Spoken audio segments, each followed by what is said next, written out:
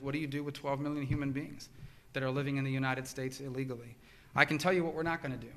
We're not going to award 12 million people citizenship, and we're not going to round up and deport 12 million people.